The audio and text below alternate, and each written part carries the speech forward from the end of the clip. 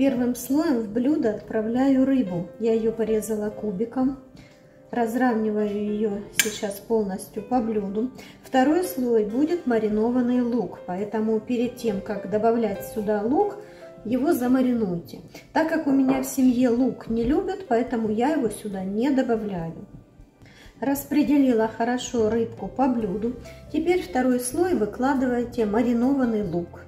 Картошку натираю на крупной терке.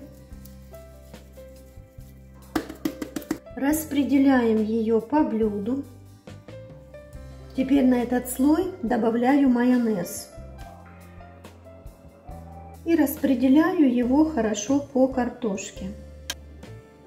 Кстати, лук не обязательно добавлять сюда маринованный. Многим нравится и свежий лук в этом салате. На крупной терочке натираю морковь. Теперь этот слой с морковью тоже смазываю майонезом. На крупной терке натираю яйца. Этот слой тоже смазываем майонезом.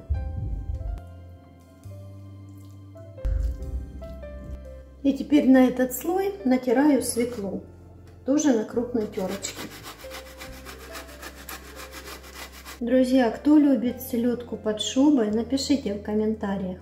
Я, например, ее просто обожаю. В этот раз я готовлю с красной рыбы.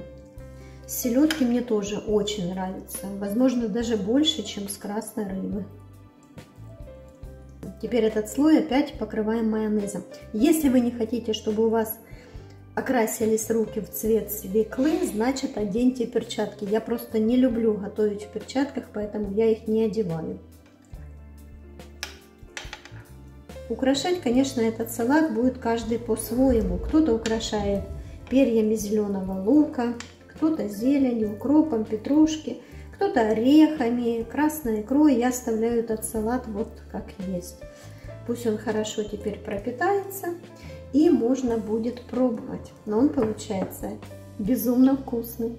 Давайте сейчас посмотрим и попробуем, какой салат получился.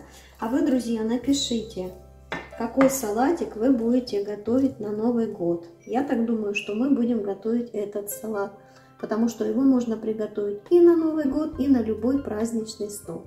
На этом у меня все. Подписывайтесь на мой канал, пишите свои комментарии.